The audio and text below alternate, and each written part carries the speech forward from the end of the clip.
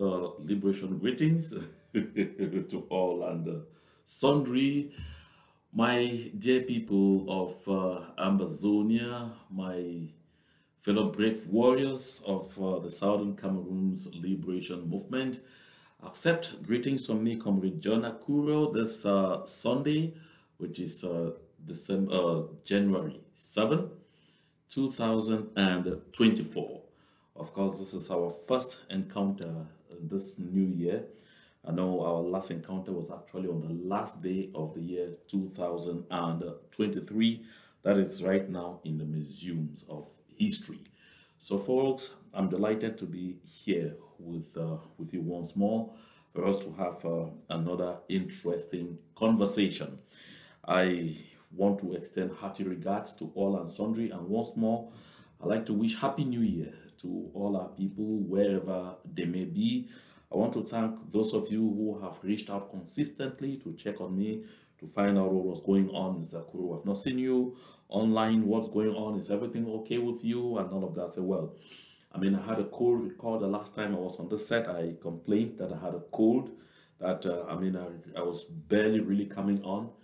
But uh, thank God I'm way better today, and that's why uh, I'm back here. Of course, 2024 is a decisive year, and so uh, we are going to be more frequent here because we need to be able to, you know, cut the T's and dot the I's as we await, uh, you know, the actions of all the compartments of our liberation movement with respect to making the cost of occupation continually heavy for La République du Cameroon to breaking point because right now La République du Cameroon is already sniffing very seriously under the weight of debt.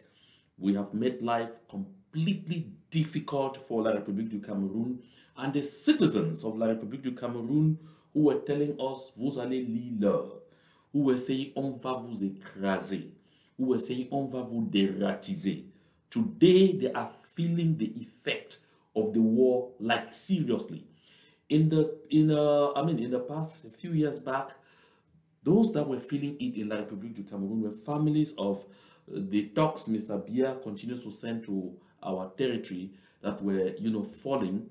And so whenever they fell, is the families and uh, the extended families that will be in pains, that will be feeling the effects of the war, but they will still deceive them to think that uh, that they were doing a very patriotic, there was a patriotic lap but today, more than ever before, it is getting clearer and clearer to the people that they are personally, personally now involved in the war. That is even right down to the least child in the Republic of Cameroon is now clearly feeling the effect of the ongoing annexationist and genocidal war that the Republic of Cameroon has been leading in Ambazonia since 2017 or even since the end, since towards the end of 2016 because the first death that we recorded, Akum Julius, was in, on the 9th, was in the 9th, on the 8th of December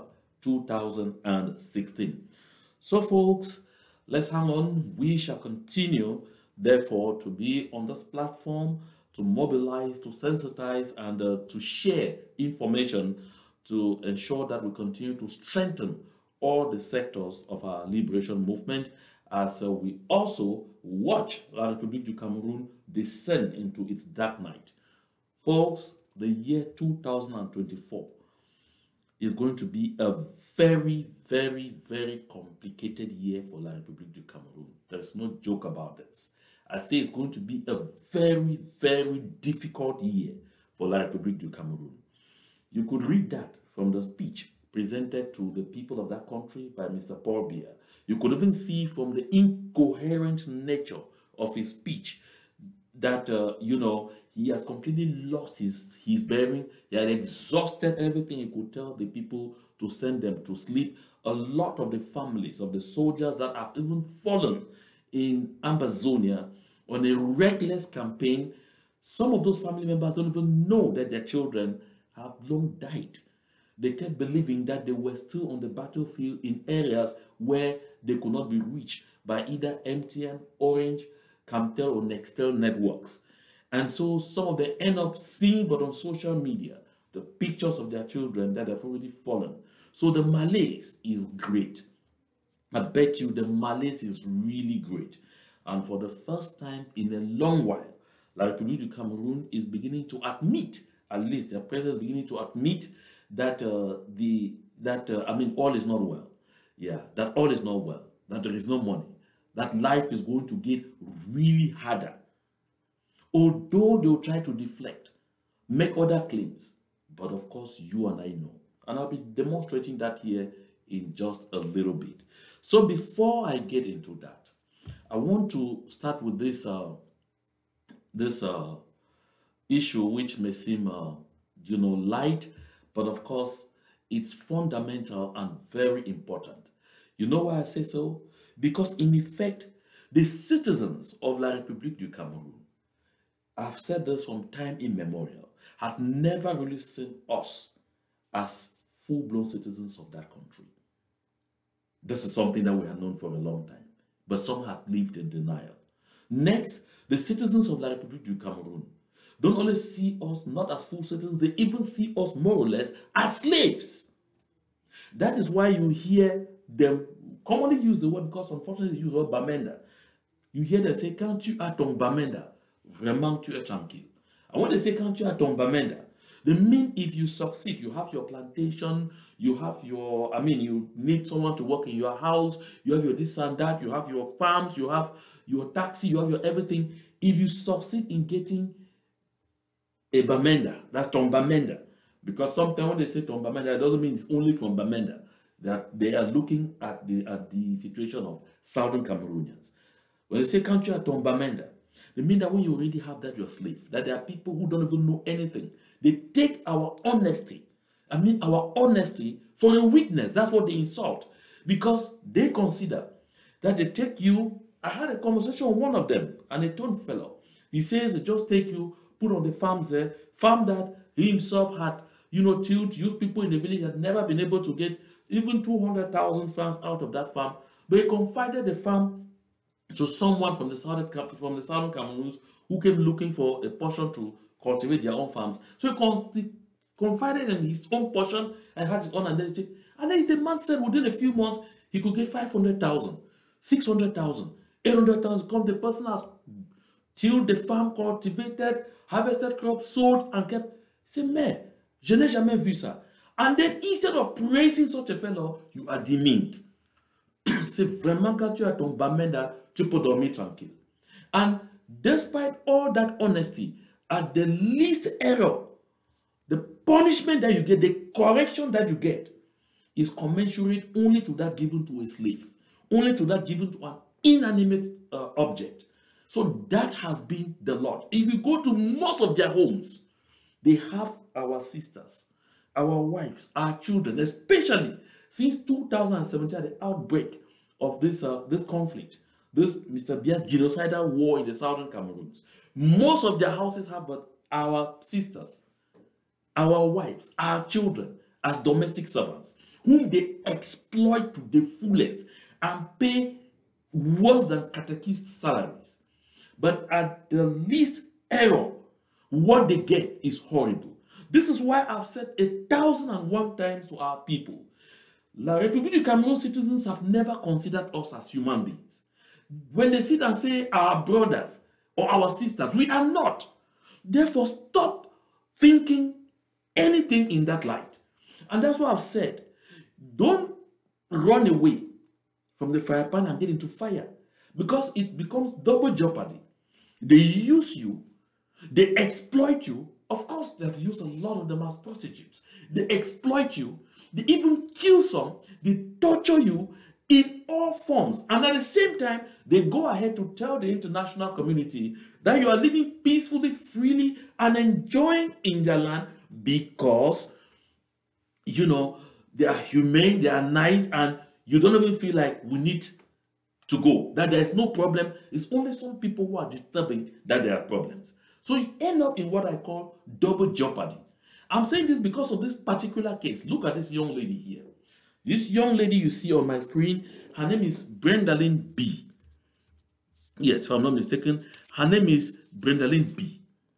So this young lady, Brendalyn B, she has been a house servant, call it house girl, to a couple in La République du Cameroon there for 14 years. I mean, for 14 good years, she has been a domestic servant in this home for 14 good years.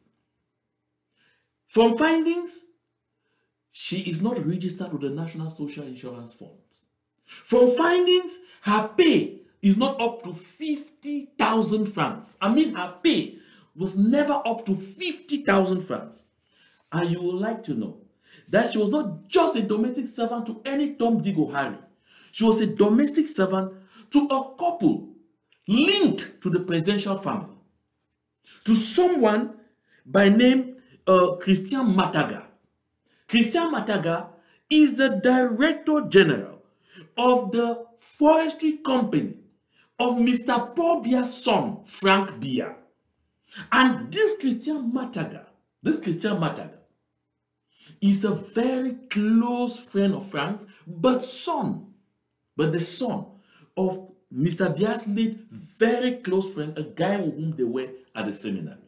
So this is to say that Brendalyn B was a housemate to a member of the presidential family of La République du Cameroon, treated in this kind of manner, that is, paid not up to 50,000 francs a month.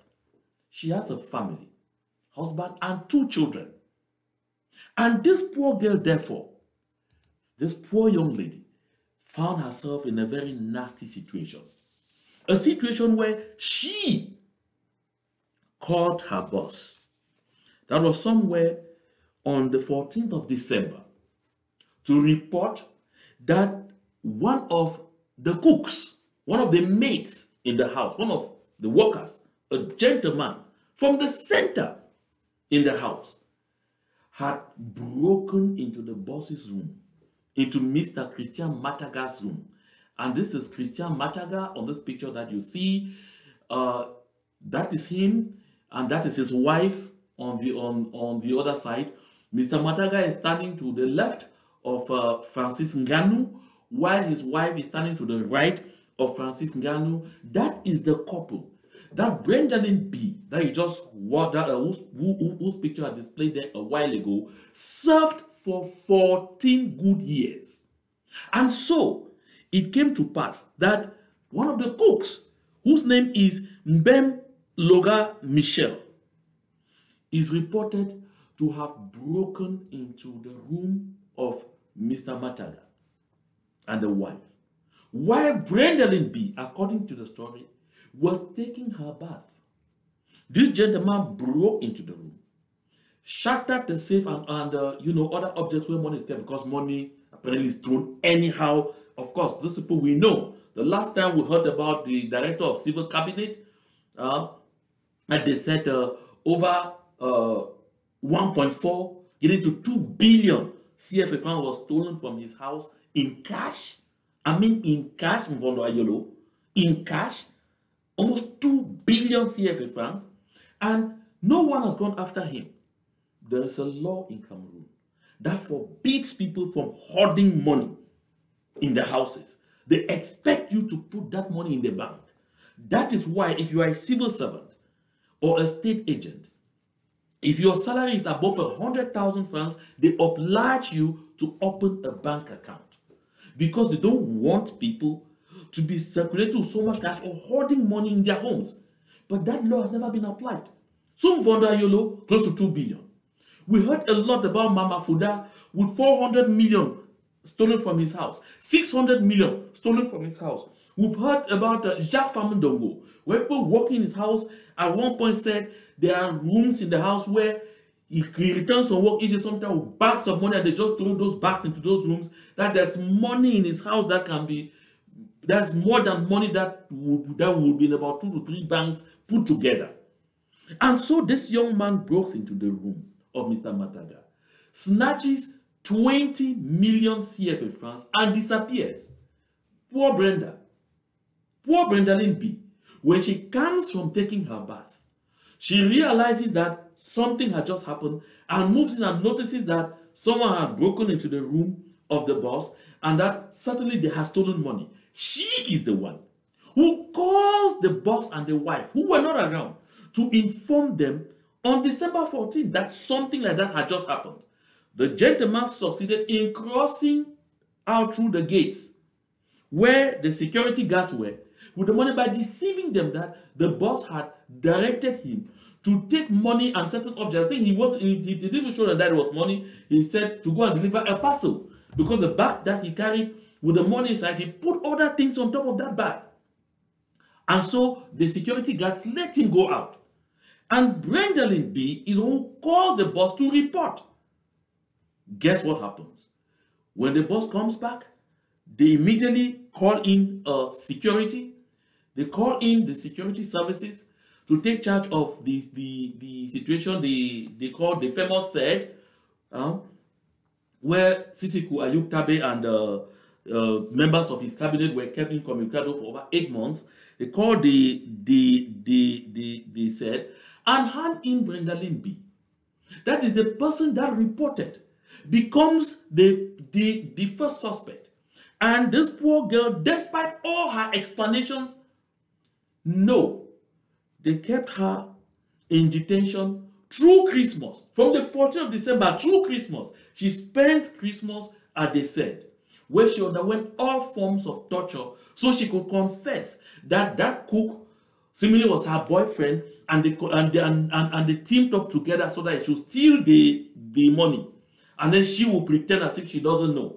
The poor lady explained she didn't even know exactly what was happening or what they were talking about. Despite that, her children and her poor husband cried their tears dry, cried their eyes dry. They never bothered these heartless human beings. I mean, these heartless human beings kept Brenda B in detention until the 3rd of January. So she spent Christmas and New Year in, in, in, in gendarmerie uh, uh, detention. And finally, on the 3rd of January, she was taken to a state council who threw her on a, waiting trial in Kondengui. Now look at this. If you don't want to say that this is a clear demonstration that the kind of treatment being meted out to southern Cameroonians in La République du Cameroon is official government position, if you have ever doubted that, this is one evidence too clear that you should no longer doubt. Because this is a presidential family. Now, what happened? You have not heard that the security guards who were in the house were detained for even one minute. I mean, the security guards who are not Southern Cameroonians, who are not Ambazonians, none of them was ever detained even for 10 seconds. But this gentleman, for him to succeed in escaping with the money, had to pass through the gates where are security guards. The security guards let him go. No security guard is in detention. None of them were ever even bothered for one second. But the vulnerable person among them who had no powers to be able to stop the thief, Ben Logan Michel, from running away when he had stolen this money. Because the security guards are the last defense at the gate there against such an error. No, because they are citizens of La République du Cameroon, nothing ever happened or will ever happen to them. But because Brenda B is not a human being, despite serving these people for 14 years and never being accused for ever stealing even 1,000 francs, she's in jail. And this is by the presidential family. Presidential family. Christian Mataga, who I'm showing on the screen here, is the director general of the forest of a forestry company, a mega forestry company, where they turn billions of CFA francs owned by Frank Biya, supposed son of the president of the republic. Do these people have consciences? Do these people care? This is one more act, one more act that should send a sound message to the minds and souls of every single Southern Cameroonian that the people of La République du Cameroon have never and will never consider us as humans. Why are we begging for relationships? I hear some people still sit and have the uh, uh, the audacity to still be talking federalism, confederation, or any kind of form of union with La République du Cameroon. These people see us as animals. At worst, or at best, they see us as slaves. And see the kind of treatment given. This is somebody who has served for 14 good years. 14 years. Diligently. When you look at her, she doesn't look like someone who should actually be working the kind of place where she's working with the kind of people that she is working. On a pay of less than 50,000 francs, serving members of the presidential family. Listen, folks, what has happened or is happening to Brenda-Lyn Bee is not an isolated case. That is what is happening to our folks all over La République du Cameroon. Some are even simply treated in the farms, in the lake, in the farms, in the Mbam, in the farms, beaten and even killed and buried. And nobody knows. That's why some of our people get up and start saying, we have family members who went to this time, we are looking for them. For years now, we have not heard eh, from or about them anymore. That is their fate. I think Brenda-Lyn Bee should just be in jail now because of what is going on now. Because they sense that there will be an alarm. And I want to absolutely thank uh, the guy of uh, the what I call the Le TGV de, de, de l'info for bringing this particular matter public. But I've reached out to a lot of other people in Yaoundé who make me understand that the treatment they gave Ms. Brenda-Lyn they said, was horribly inhuman. That she was beaten to pulp a good number of times to force her to confess on something she knows nothing about. So right now, she's in jail. Her poor husband and children are in limbo. Despite all the years she served these people, and they can't demonstrate that there is any time she has ever stolen 50 francs. And at the same time, what is embarrassing, the gendarmerie has sent out a search warrant, or that's a, a, a search notice regarding the supposed thief Ben Logan Michel, who escaped with the 20 million CFA. So you know the person that stole the money. Why do you keep an innocent woman? Why do you torture an innocent woman? Why do you reduce an innocent woman to a barest expression, to rubble? Folks, I'm taking a bit long on this because it's so disheartening. If Brenda-Lyn Bee knew that she had a hand in that theft, she wouldn't have been in the house. She did not escape. She is all who called the attention of Mr. Christian Mataga and the wife. Look at them here, posing with uh, Francis Ngannou. She is all who called the attention to the fact that someone had broken into their room and stolen money. That the cook had broken into their room and stolen money. And because she knew that she was innocent, she didn't have any reason to escape. They went and took her from the house. From the house to the SED. They didn't go looking for her. It's such a shame, folks. It's really such a shame. I feel so horrified by this. Let us spread the story let us share it to all the human rights organizations we can. So they let the world know and see exactly what we have been talking about.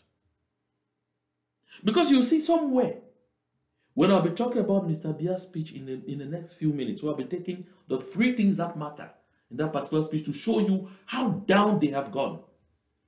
You'll see what he talks about justice. What a shame. What an embarrassment. Folks, I want to get out of that and I want to stop on one little thing. In this liberation movement, we have talked a lot about the need for us to put our acts together. International actors who have been struggling to woo to come to our rescue, to come to our aid, and to help us continually keep this genocidal conflict in the news at higher levels, to continually prick the consciences. I know you don't even win just by pricking consciences of world leaders, of global organizations, to the inhumane treatment that's been meted on the people of the southern Cameroons, to the injustices we are facing daily, and to the effect that the Republic of Cameroon needs to get out of our territory. Despite all those efforts, when we manage and get some who are paying attention to the woes of our people and to our cries, what do we end up doing? We bring our internal squabbles to the table, to the point where we even begin attacking international figures who are fighting for us simply because of our fight, our useless and stupid, senseless fight for positioning. Look at this. I bring this to condemn. Because you look at here,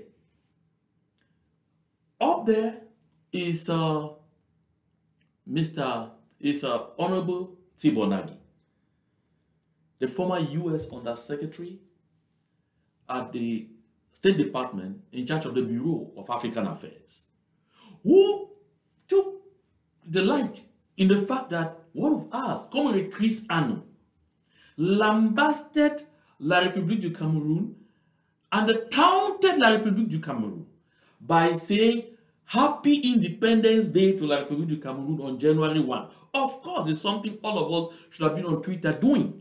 Tweeting Happy Independence Day to La République du Cameroon on January 1 to our neighbors, La République du Cameroon. This is a reminder to the global community that La République du Cameroon as a country had its independence on January 1, 1960, and they are shy to celebrate their independence because they are pretending. They were pretending before the world, before the, the world to claim that Southern Cameroons, Ambazonia, is part of their territory. And so, Honorable Tibor Nagy, that is the aspect that pricks him here. And he uses it to throw a jibe at La République du Cameroon that how would they react at this? But because he referred to Chris Anu as interim government, of course, all of them are interim government factions. You see what happens? You see Patience Abiedo, doctor, Patience, doctor, Patience Abiedo, comes here to attack Mr. Nagy. I say she comes here to attack Albert Tibor Nagy. What is her point of attack, she's not seeing the giant at the Republic of Cameroon. No, no, no, no. Her point is you appear to be promoting Chris Ano as the leader of Ambazonia and not Samuel Sarko. What is Honorable Tibor Nagy's concern in all this? Folks, I will not be seeing on this post a kind of positioning for Comrade Chris Ano or whatsoever. I will be seeing the giant on La République du Cameroon. Because this tweet by Honorable Tibor Nagy is certain to get into the, into the thin skin of La République du Cameroon. Folks, sometimes we need to set aside these senseless internal fights. We need to set aside this senseless internal rivalry and recognize that the most important thing for us at this point in time is to kick La République du Cameroon out of our territory. Once we have done that, those who are interested in leadership will present themselves before the court of public opinion. And the people, the sovereign people, let me say, as Comrade Boh Herbert has a habit of saying, the sovereign people of Ambazonia will determine who will be our leader at this point. Because I saw other people outrightly insult Honorable Tibor Nagy by someone who called himself UN. I don't want to glorify him by broadcasting such a useless statement on this, on this platform. Where are we heading to? Where are we going? In 2024, we have to recognize that we are supposed to be expanding our international base. That's the base of our international friends, not alienating them with our internal wranglings. They don't need it. They don't want to know about it. They are simply interested in helping see us come out of slavery and servitude. I got really bitter, disappointed, shocked, and embarrassed at the quality of people who will be going out after Honorable Tibor Nagy for such a tweet. What's all of this news? Let us learn. Let us learn to focus on the things that unite us. Focus on the things that advance our cause rather than hanging on things that will hold us to the ground. This is something very fundamental that we must bear in mind. We must learn to depart from these ugly habits in 2024. 2024 is going to be a decisive year for our liberation movement. This is why we must make haste to part with such ugly attitudes. They don't present a better picture of us. They show us as a senseless people with no sense of direction. They show us as a people who don't even know what we are up against. Let me leave this, let, let me leave it at that. I've continued to receive reactions regarding the um, my last three broadcasts on uh, the outing of uh, Mr. or Professor Maurice Kamto. And so, with a lot of insistence from some of our folks that I should broadcast this picture, here it comes. You look at this picture, I'm just crossing over this then to get into the subject matter of our discussion today. You look at this picture, of course, that is a picture that was, this picture was taken in 2010. And uh, that was Mr.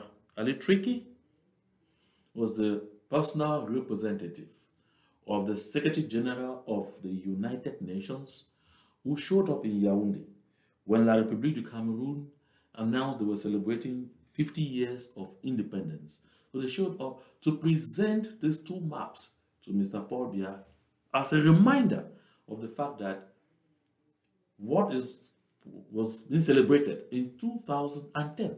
Of course, because the Republic of Cameroon was independent on January 1, 1960. So on January 1, 2010, the Republic of Cameroon clocked 50 years of its independence. And so Ali Treki, from the office of the Secretary General of the United Nations, came to give a present and was therefore a reminder to Mr. Paul Biya that the United Nations actually knows two countries in this entity. Two. That is why you see the map being carried that someone has in the hands of the smaller map. That is the map of the southern Cameroons. And the bigger map here, that is a map of La République du Cameroon without the southern Cameroons. This was not an error. No.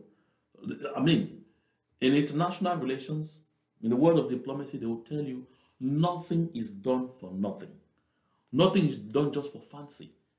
Every single diplomatic act has a meaning to convey.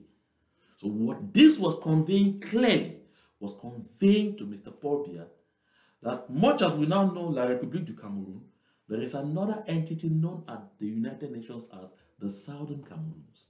And this La République du Cameroon was 50th independence, just 50th year of independence, whose golden anniversary of independence you are celebrating is La République du Cameroun without the territory of the Southern Cameroon. That's why you see the maps are clearly distinct and each one is framed.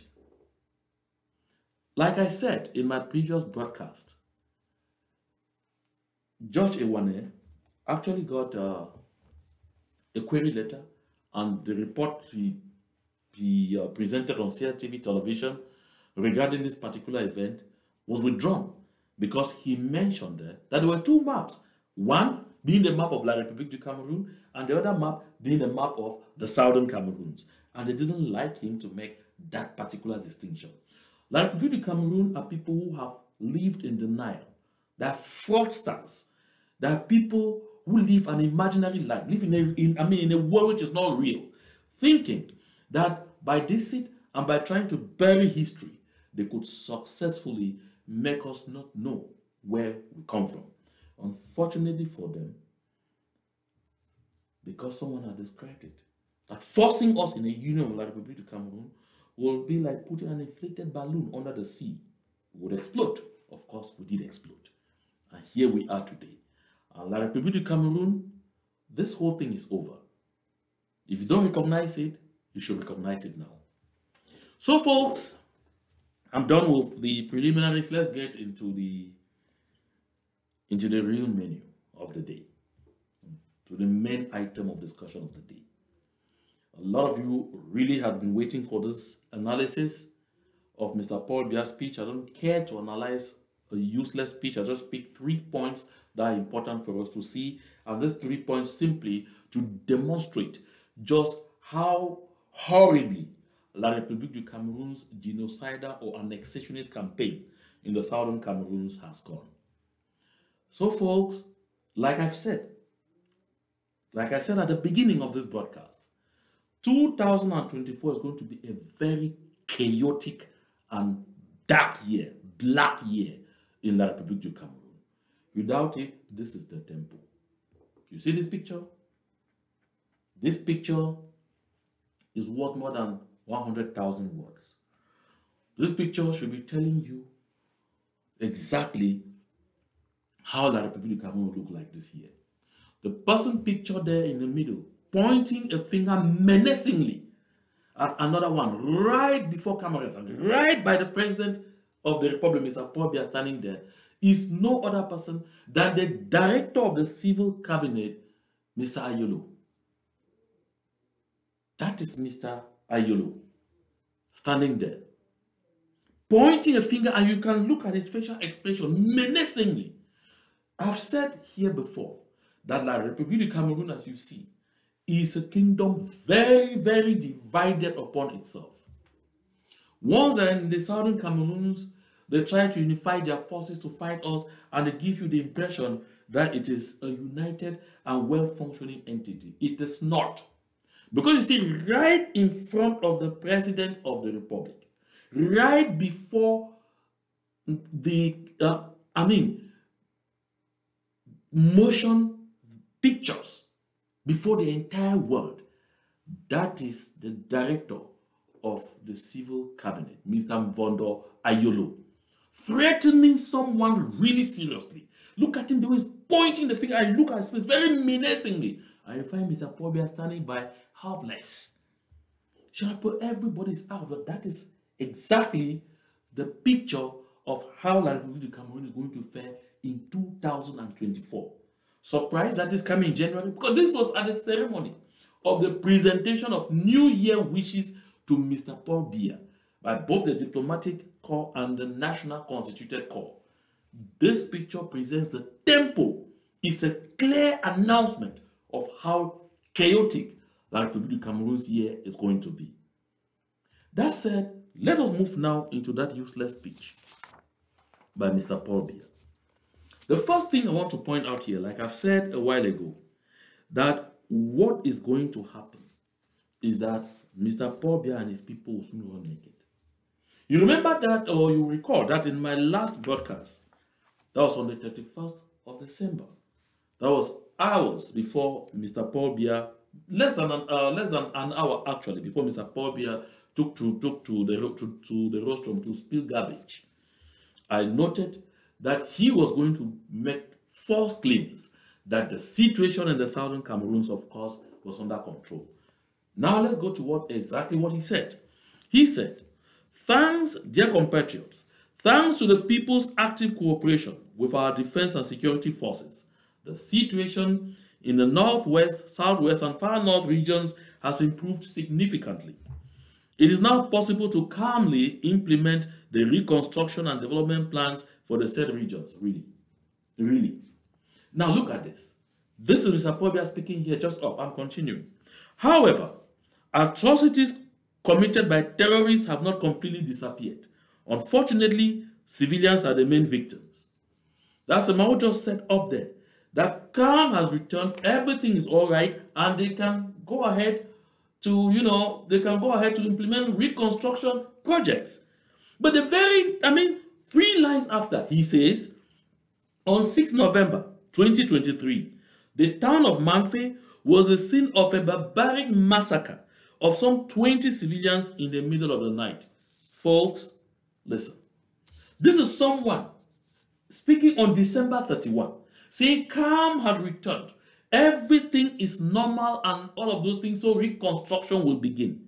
Then the very next minute, he's saying just a few, just, I mean, just a just a month and uh, two weeks behind. Over 23, because he says, uh, you know, some 20, some, some, some, some 20 civilians. Over 20 civilians were killed just like that. That is nothing for Mr. Paul Biya. That is nothing for him. You can keep there even in 20s, in 30s, in 40s. For Mr. Paul Biya, that is the return of normalcy. Folks, it confirms what I said, what I presented here in that strategic document by the Betty Bulu Ekan clan on how to maintain themselves in power for life forever, in which they said regarding their ongoing genocidal campaign in the southern Cameroons, the number of deaths does not matter. Recall? It is on that document, and that document is in circulation. If you doubt, go back to it. They said regarding the situation in the southern Cameroons, the number of deaths does not matter. You can see Mr. Biya confirming here. Imagine in any country in the world, they say 10 people, 5 people died in one instant, in one scene. The country, the president will get out, make speeches, you will see actions here and there and all or not. But for Mr. Paul Biya, that is a return to normalcy. Absolute, absolute return to normalcy. In December and on the 18th of December, days before Mr. Paul Biya made this speech, five soldiers of La République du Cameroon, five, died at the spot on the road in between Bafut and, uh, and, uh, and Womb, specifically at Mbekong in Lower Bafut. Five, and several others were wounded. No mercy. That's no mercy. For Mr. Biya, I've told you, they don't care about the number of deaths. And to citizens of République du, du Cameroon, don't think that's only on our side. It's on, it's on your side as well. Because I'm talking about soldiers. After that, three were reported dead in, uh, in, in, in Congo. After that, two were reported dead in Boyo. After that, just a, just a few days ago, three were reportedly captured alive. Three soldiers were captured alive in Congo. Before that, you learned about four uh, had lost had lost uh, their lives in Dian. You tell them, come on, Mr. Paul that is a return to normalcy. Just two days ago, or I think that's even yesterday, they were announcing the fall of about three again in Bamenda. That is a return to normalcy for Mr. Paul. Folks, I have said it here, and I will reiterate. We as Ambazonians, as Southern Cameroonians, have to recognize that what we are faced with is an existential war. We are facing a war of annihilation. That is the reason I continue to call on each and every one of us to recognize that there is much more that unites us than the few things that separate us, that divide us. So let us focus on those things that unite us than hanging on the things that separate us like a useless fight for leadership at a time when we should be focused on kicking La République du Cameroon out of our territory. Mr. Biya doesn't stop there. He says, I strongly condemn such atrocities which defy reason and have no justification whatsoever. And he goes on, I encourage our fellow citizens in the regions affected by terrorism to continue to cooperate with the defense and security forces whose courage and professionalism I salute. Professionalism, eh?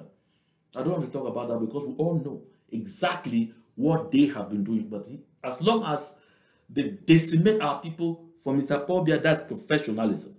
And he says, I reiterate my appeal to armed groups who lay down their arms and join disarmament, demobilization, and reintegration centers. I am pleased to note that an increasing number of the combatants have responded to this call in recent weeks. Folks, now, the last time I talked about the role of a disarmament, demobilization, and reintegration center, DDR center. It is actually for disarmament, for demobilization, and for reintegration. But what is the reality for those centers in the southern Cameroons? Mr. Fayego Francis, you know better. The reality is that this is a switch of camps. Those who erroneously move into those centers, thinking that they are going there to be rehabilitated, to be trained in various professions, to be given capital, or to be given jobs, to be given or, or, or given capital to start businesses here and there, they end up back on the battlefield. Why? Because they end up being dressed in the in the in the in the military attire of La République du Cameroon and are forced back to the battlefield where most of them get killed by those they were fighting with yesterday. This is horrible. That is not what is expected of a DDR. International norms apply in these circumstances. So for those of you who are misguided and continue to coach some of your family members who are self-defense vol uh, volunteers, who for one reason or the other say they are tired and want to stop fighting, ask them to go to the DDR, you are sending them directly to the jaws of death.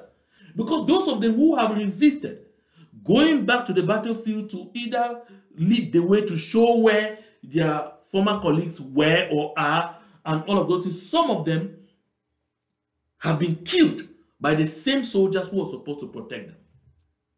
This is something we need to note. And you, the civilian population, that will support their cause on to cooperate. A good lot of you have ended up dying as blacklegs because you put your life in jeopardy for a system that will never protect you, will never stand up for your family members, so your wife or your children if you are killed, that will simply not even recall that someone ever existed like you. Because as far as they are concerned, the number of deaths doesn't matter.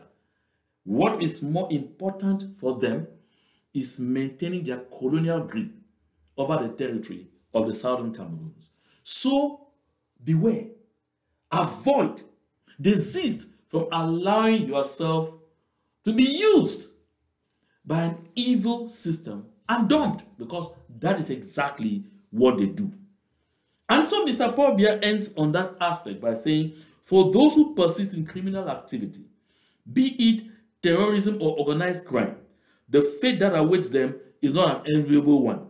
They must know that our firm determination to ensure the security of our fellow citizens will never falter. Now, what amuses me in that is that while Mr. Biya makes this statement on the 31st of December, few days after, while receiving New Year wishes from the diplomatic community, from diplomats accredited to Yaoundé, Mr. Paul Biya preaches the language of dialogue, referring to the conflict in the Middle East and between Ukraine and Russia.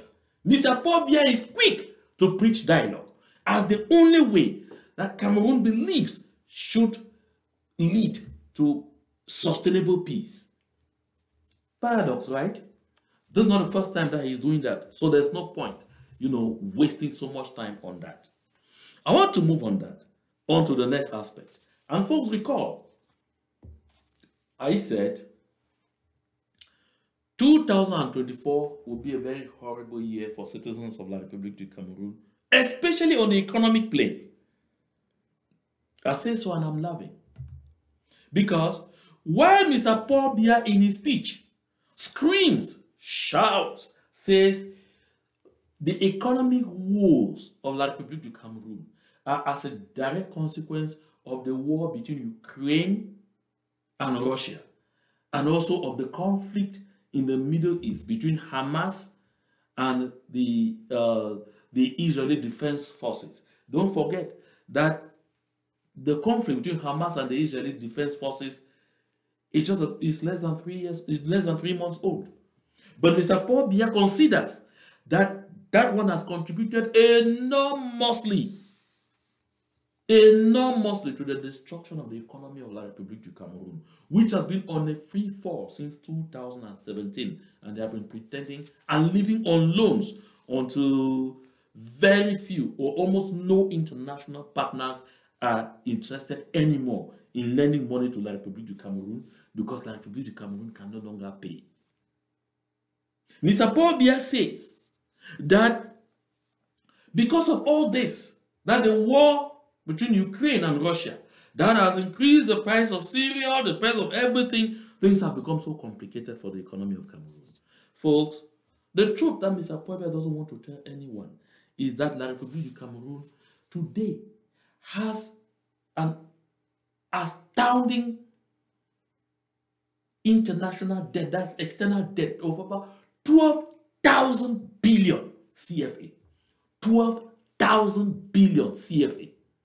Because La République du Cameroun, I mean La République du Cameroun, gathers all the money in the country and devotes it to defense, to fight in Amazonia. Quarterly, quarterly, La République du Cameroun does not spend less than 250 billion CFA francs on their genocidal campaign in the southern Cameroon. I mean, not less than 250 billion. These are internal statistics that I got from the Ministry of Finance. I know what? Despite that, their talks on the field don't even have state-of-the-art equipment to fight. Most of the armored cars they have brought in, these are the best and whatever, have ended destroyed in the southern Cameroons because of the local technology of our self-defense volunteers. A lot of businesses that made a lot of money in the southern Cameroons are about folding up. Some have simply completely folded up. No more taxes. You don't forget that in a lot of places in the southern Cameroon, people don't even pay taxes. It doesn't exist. So there is nothing they're getting out of there this far, shy of the crude oil still getting in the seas off the coast in Cape Limboh. La République du Cameroon's genocidal campaign in Ambazonia has been extremely costly, continues to be extremely costly, and partially because of rampant embezzlement in the ranks of the military. You recall in the early years of this uh, armed conflict, I had said I had a lot of confidence in the military class, the people at the Ministry of Defense in La République du Cameroon, to take advantage of this war and sweep the treasury and ruin the treasury of that country. I, was confident they would do it. And I'm very proud today that they have done just that. And they will continue to do that. Now, La République du Cameroon has been pushed to a corner where they have now forced every single individual in that country to begin feeling the effects of the war. Oh, yeah. Yeah, yeah. 2020, 2020 2023 was just Genesis. The first quarter of 2024 will still be Genesis. Listen, by the time they get to Malachi, citizens of La République du Cameroon will start eating the earth with their tongues. Because look, folks, last year, La République du Cameroon could not help it. They increased the price. They increased the price of fuel, of super, by 100 francs, going from 630 to 730 francs CFA per liter. They increased the price of diesel by over 100 francs. And of course, what should have been expected? The cost of transportation naturally increased. The cost of goods and services increased. And at that time, they pretended that they were raising the incomes of the people by 5%. And, like, and I demonstrated here that someone earning 100,000 francs, an increase of 5%, that's before tax, the gross income, will mean 5,000 francs. And when it is taxed, you are left with about 30,000 or something, call it even 4,000. But the price of petroleum is increased by over 100 francs on average. I'm taking uh, super and diesel, or just put it at 100 francs per liter. Per liter. So by the time you buy 10 liters, 1,000 is already gone. Of that, you have, you have, you have 4,000. If you have a car that takes 60 liters for you to get a full tank, by the time you make one full tank, the 4,000 has evaporated plus another 2,000. That money is finished. It was a mirage. And now, La République du Cameroon again is back to the war. Back to the war. It is not going. It is not going. The pressure from the International Monetary Fund and the World Bank is there for La République du Cameroon to stop any form of subsidies on petroleum products. And one thing we must learn here, because sometimes they even say subsidies, you think that they actually carry billions to pay in, that displace billions of CFA funds to pay in in order to reduce the cost of petroleum. No. It's simply that they reduce some taxes on the cost of a liter of petroleum. Because on that liter of petrol, of super, taxes alone account for at least 480 CFA francs. I mean, taxes alone. So now the pressure from the International Monetary Fund and the World Bank is for those taxes to be maintained because Cameroon must have to pay its external debts. It must honor its international engagements with international finance bodies, with international partners. And for that reason, they must look for the money. That is why the level of suffering is going to be unimaginable. Here, Mr. Paul Biya here. Last year, the government increased slightly the pump prices of fuel. As a result, the subsidy on petroleum products decreased from over 1,000 billion CFA francs in 2022 to around 640 billion CFA francs in 2023. Look at that. If the reduction after an increase of 100 francs per liter from 1,000 billion only comes down to about 640 billion. It tells you where the liter, where the cost of a liter of petrol will be when there will no longer be any subsidy at all. And the goal is to get to that place where there will be no subsidy at all. Mr. Biya continues. However, this subsidy continues to weigh heavily on public coffers. I'm not being talk. Though we will most certainly have no choice. I said so. Have no choice. I like the choice of words. Though we will most certainly have no choice but to reduce it further, that to reduce the subsidy further, we will ensure that the requisite adjustments do not significantly impact the purchasing power of households. so Mr. Paul Biya has said what should have been said in very blunt terms to the people in very coded terms in such a way that some of the people don't even understand that what Mr. Paul Biya is saying here, he is announcing another increase on the price of fuel.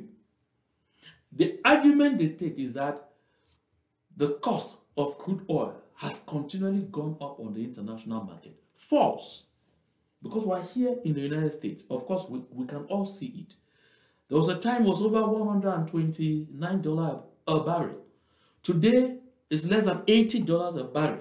That's why you see the price of gas, of a gallon of gas in the United States dropping continually.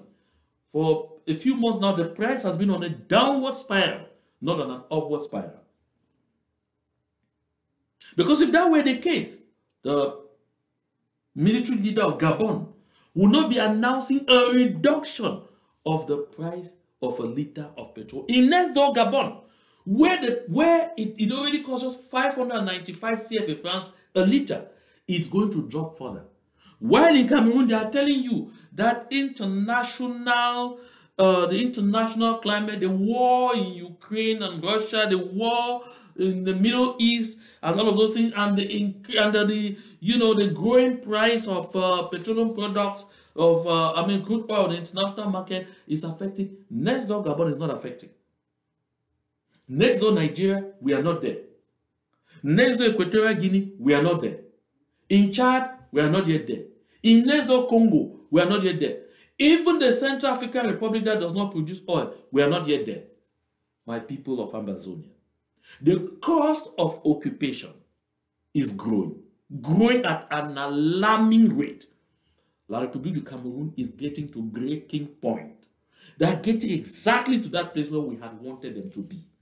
Folks, this is why this January 2024, I want to specifically congratulate those our compatriots who were shipping container upon container to the Douala seaport and who have decided to stop because you are going to help close another, reduce, thin another source of revenue for La République du Cameroon. That's the custom duties. Folks, if you are one of those who still shipping to Douala, stop it. Trust me, we are almost getting to the end. It will not be long before this whole thing crumbles. And we will get to where we want to go. We will get to where we have always wished to get to. Just a bit of cooperation, just a little bit more of sacrifice, and we will get there. That's what I'm saying. I am heartily congratulating those who were shipping containers to La République du Cameroon and who have decided to stop. That is a key aspect of our economic sabotage campaign because it is already paying off.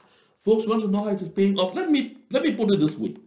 You see that not only would the price of petroleum products increase, I spoke to some people at the Ministry of Finance and they told me super is going to go from 730 to 860 francs. I said here the last time that you're going to hear that because there's already a uh, rumor circulating, there's already circulating on social media, oh, the price is going to 860, and they say, oh no, that one is unofficial, it's just speculation. No, no, no, no, no. La République du Cameroon is preparing the minds of the people. They've always done that. So that when it finally comes, people say, oh, it was already there. So they may, at the end of the day, not do 860, but do about 830 or 850. So they say, oh no, it was slightly less. But that is exactly where it is headed. But at the end of the day, it is going to get up to 1,000 francs a liter of super in La République du Cameroon. For those of you who continue to insist to force us into this horrible place called La République du Cameroon, you soon have a taste of your own medicine. And folks, don't forget that while these prices are going up like that, those who are going to suffer the most the 99 or 98.5% of the masses who sit and say, non, ils vont lire, on va les mater, le bi va les calmer, ils vont se calmer. They are the ones who are going to pay the price. Because the ministers, the secretaries of state, the secretaries general, the directors, the directors general, all those people are going to be fueling their cars with government vouchers from money collected from the masses as taxes. They will never feel the pinch. A good lot of them have credit lines, 300 million, 400 million just to put petrol in their cars. And so they'll be able to provide petrol for themselves free of charge and to their girlfriends and their family members. You will pay the price. Continue to say, I'm a black leg, I'm a proud black leg. You will pay the price. This is what awaits you. As a direct consequence of this statement by Mr. Biya, you already see that a lot of government institutions are going to be stifled of money they are already going after the local masses again, extorting from the local masses to make money to run their institutions. One of them is the University of Buea. You see there? The Vice Chancellor of the University of Buea, on January 4, that's just three days ago, 2024, published uh, a release saying, an, an announcement saying the degree certificates for students of the university from 2019 to 2021 have been printed and they are now available. But you only obtain your certificate after showing proof or presenting a receipt of the payment of the sum of 2,000 francs to collect your certificate. To collect your own certificate. Where in the world have we seen that? Where have we seen that? And why will people graduate since 2019? It is in uh, uh, uh, 2019, 2020, 2021. It is in 2024 that their certificates are made available. Look at the kind of system. Folks, this is what we are trying to run away from. But La République Cameroon right now is cash trapped. You recall that recently there was another announcement from the Ministry of Transport saying that a driving school training center or a, or, or a training center for drivers was created at the University of Buea to encourage students to take training there and get driver's licenses. And the minister was not shy in saying in that, in that announcement that it will provide a rare opportunity, a most needed opportunity for the University of Buea to generate revenues to run its affairs. And of course also to provide revenue for the Ministry of Transport to run its own affairs. Things are getting too rough. Things are getting too rough in La République du Cameroon and there is no money. For those who are using MTN mobile money, uh, uh, uh, Orange, uh, Orange money, and uh, you know all those money transfers, La République du, du Cameroon has increased, increased its taxes on mobile money transfers, has increased its taxes on mobile money transfer by at least four percent. I mean, they are mad. Very soon, you pay a tax on the oxygen that you breathe. And if you are doubting that you will get there, look at this one. For those of you, for those of you who are planning to travel out of La République du Cameroon to go to anywhere, take note that henceforth, one of the documents you have to present at the embassy to apply for a visa will be a tax clearance certificate. Did you hear me? Whether you are a businessman, whether you are a buyer and seller, whether you own just a small store, whether you are a bike rider, whether you are a student or whatsoever, you will have to demonstrate before it, uh, the consular officers of all the diplomatic missions in Yaoundé and in Douala when you want to travel abroad that you have paid your taxes before you can be issued with a visa. Did you hear that? I've never heard about this in any country in the world. Never ever. Never. Do you know why La République du Cameroon has descended to this point? Because La République du Cameroon knows, the authorities of La République du Cameroon know that the country has become worse than hell to the point where everyone wants to leave the country. That is why in that country, in La République du Cameroon, to obtain a national identity card will take you years, months and years. It's very complicated. But to obtain an international passport to travel, you can get it within 24 hours now. If it's too long, 72 hours. I mean an international passport in La République Cameroon now. I know it's very expensive. It's over a hundred thousand. They know that people want to leave the country. So they look for every avenue where the people have a lot of pensions and say, this is where we will trap them and collect money from them. And now they know because they've seen the volume of people going to obtain international passports. They know after obtaining your passport, the next thing you do is go to an embassy to seek a visa. And so, after collecting a huge sum of money from you for a passport, because you end up spending over 115, 120,000 CFA to obtain that, that passport, you will now go to an embassy for a visa. They will hold you again there. Have you paid your taxes? You must show proof of having paid taxes. When you go to a taxation office to obtain the tax clearance certificate, I'm waiting for those who will be going there quickly to come and tell me what the experience will be. Whether you have a business or not on everything, the tax officer will tell you you will have to prove you will end up paying some money. Because first, you will tender an application for that tax clearance certificate. The application for that tax clearance certificate will have to be stamped. The fiscal stamp now is 1,000, is it 1,500 if I'm not mistaken? The fiscal stamp is about 1,500, if it's not 1,200. I think it should be 1,200, 1,500. I didn't do a last verification on the current cost. So you put that fiscal stamp on the application. You put that fiscal stamp on the application to request this document, depending on how soon you need it, you will spend money in bribe. Did you understand that? You spend money in bribe.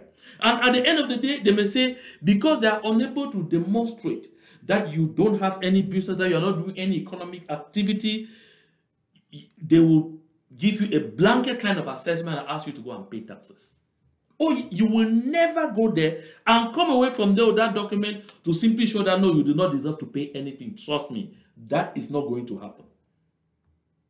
And if you're not careful, they will tell you before presenting that application, you will put a certified copy of this, a certified copy of that, a certified copy of that. So at the end of the day, just the document to obtain that tax clearance certificate, you may end up spending about, I mean, over 5,000 francs just to apply to prove that you don't deserve to pay taxes because you are not doing any form of business or just to present that I'm a civil servant you see they have already cut my taxes from the base because they did not make any exception it's fundraising folks I've not seen any country in the world like that today in La Republic du Cameroon even if you don't have a national identity card it's possible for you to obtain an international passport. Oh, yes. They know everybody wants to leave. And so you are going to apply for that visa. You are not even sure that you obtain that visa, that you'll be granted the visa. But you have to spend this money with the government of Cameroon. You have to pay the visa fee at the embassy concerned. Oh, Lord. God have mercy on these people. What a cruel country. What a horrible country. But you see, all this is as a result of La République du Cameroon's genocidal campaign in Ambazonia. It is a direct result of La République du Cameroon's genocidal campaign in Amazonia. The cost of occupation has gone over the roof. La République du Cameroon can no longer bear it. And so the people who thought that if only love, they will love citizens of La République du Cameroon, and those so-called people say we are proud black legs, you will read the clock. You said no, you said us. On va les déréatiser, on va les, on va les tétaniser, on va les, on va les écraser. Le bi va les faire se calmer. Avec l'arrivée d'un Tanganji, ils vont se calmer. Oh, ils vont. You will read the clock. Citizens of la République du Cameroun, vous allez lire vous allez lire Ah non, vous êtes déjà en train de lire Oh my goodness. Listen, this is not the last of the taxes that you are going to hear about in the Republic du Cameroon. You will soon pay a tax on the oxygen that you breathe. Until you get there, you will not understand where you are. So let's finish up with this last aspect of uh, Zabia's speech. I'm already ending. I said there were just three aspects. There was a situation in southern Cameroon, so fuel prices, and of course, justice. Mr. Paul Biya says, improving the business climate is clearly a prerequisite for attracting foreign investment and creating a robust private sector that should facilitate our transition to emergence through dynamic job and wealth creation. Biya is talking about emergence. In an economy which is on a huge free fall, Biya is talking of emergence. And he says, trust in the judicial system is inevitable for perception of the, of, of the business climate. As you are aware, the judiciary is one of the pillars of the rule of law. Can Paul really make this kind of statement? Can Paul make this kind of statement? The entire world knows that the rule of law had long died in La République du Cameroon. If not, why would a young girl, why would a young girl like Brendan B be doing in jail when the facts are clear that the person who stole the money is on the run and they're after that person who stole the money. If the rule of law had not long died, why would Brendan B be behind bars? Why the security guards were at the gate and opened the gate and facilitated the passage of the thief with the booty are quietly still doing their jobs and earning their money. Where is the rule of law? This is because he only took a phone call by Mr. Christian Mataga for Brenda B to be rotting in jail after serving them diligently for 14 years. If the rule of law had not died, what will Sisiku Ayuk Tabe Julius and all his cabinet of, of the Nera 10 team be doing in jail? What would all the southern Cameroonians being picked for no good reason, some that they did not have identifications at cards, some that they did not pay 50,000 as bribe to go back home, in their thousands, why would they be rotting in jails in République du, du Cameroon if there was the rule of law? Oh, yes. Mr. Probia will talk about this. Because recently we saw the, the drama of a judge signing in the morning that these people who are in jail, you know, I find them not guilty. They really, there's nothing against them. I'm dropping all charges. They should be released. And by evening, the same judge that I don't recognize where this document comes from is fake. Oh, yes. It is because of that drama that Mr. Pobia makes this statement. Folks, look at something. Mr. Pobia make this statement because all the big companies in the world that like to invest in other countries have left La République du Cameroon. They have all left. There is none. Check the percentage of foreign direct investment in La République du Cameroon. That is what brings in much needed foreign currency. That helps create foreign currency reserves. Check. Nothing. Because the rule of law has collapsed. La République du Cameroon is a jungle. No business, international business entity in the right frame of mind will invest in La République du Cameroon. That's why about all the companies, all the public companies La République du Cameroon are bankrupt. I showed a report here which indicated that companies of the public sector were owing a whooping 274 billion CFA. A whooping 274 billion CFA.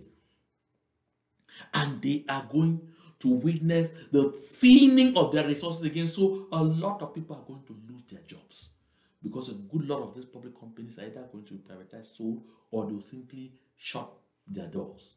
It's not going. The stay of La Republic in Ambazonia is beginning to demonstrate its clear consequences on the economy of that country. I want to dove my heart to all our brave hearts, to all our self-defense volunteers for their selfless service to the nation. I'll be coming tomorrow with a special message, and that'll be in Pidgin, to all our self-defense volunteers on exactly what they should do and what they should not be doing at this time. Because this year is a very important year, and we must consolidate the gains that we have made. We must continue to increase, to raise the cost of occupation. We must continue to make it difficult for La République du Cameroon to have free passage on our land. I want to congratulate the civilian population for continually observing the Monday ghost towns. That too has crippled La République du Cameroon tremendously and brought them to their knees where they are right now. La République du Cameroon today is at breaking point. It is not going. 2024 is a black year La République of Cameroon. A year of tears. We will stand by and we will watch those ones who told us, vous allez lire. We will be telling them, not vous aussi vous allez lire. No, we will be telling them, quelle est votre expérience quand vous êtes déjà en train de lire? Misery is coming their way. They will understand what we went through. They will have a taste of their own medicine. Folks, that night, that long night, is not too far again. It is very close. Don't forget this picture. Keep this picture in mind. That is the temple of exactly what is right ahead in 2024. By the time we get to 2025, Allah, it will already be something else. I'd like to stop here and I want to thank each and every one of you. Those of you who stayed up late to be part of this broadcast, my apologies for beginning uh, this late. Like I said, I was to get to coming out of illness and I had to put myself together to do this broadcast. So thank you very much And uh, to God be the glory. And uh, I mean, like I said, this year we will we will communicate more often to ensure that we remain mobilized, we remain focused until we kick La République du Cameroon out of our territory because La République du Cameroon must go. Shake, shake, no day. Shake, shake, no day. To God be the glory.